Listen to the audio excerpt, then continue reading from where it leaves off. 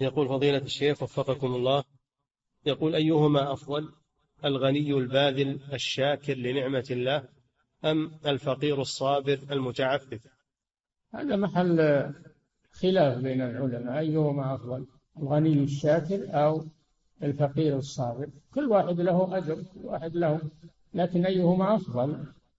هذا فيه خلاف والراجح كما رجحه الشيخ تقي الدين من تيمية وتلميذ ابن القيم في عدة الصابرين كتاب اسمه عدة الصابرين وذخيرة الشاكرين. يقولون أفضلهما أتقاهما لله. أفضلهما أتقاهما لله. فإن كان الغني الشاكر أتقى لله فهو أفضل وإن كان العكس فقيل الصابر أتقى فهو أفضل. إن أكرمكم عند الله أتقاكم. نعم.